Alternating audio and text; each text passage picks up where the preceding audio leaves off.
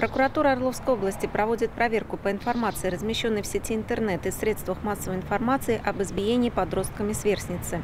По факту побоев межрайонным отделом МВД России Ливенский проводятся процессуальные проверки. Ее ход и результаты поставлены на контроль прокуратуры Орловской области. Прокуратурой будет проверено соблюдение законодательства о профилактике безнадзорности и правонарушений несовершеннолетних. В ходе проверки будет дана правовая оценка действиям либо бездействию лиц, в чью компетенцию входит проведение профилактической работы с подростками, в том числе действиям, бездействию их законных представителей. По результатам проверки будут приняты меры прокурорского реагирования.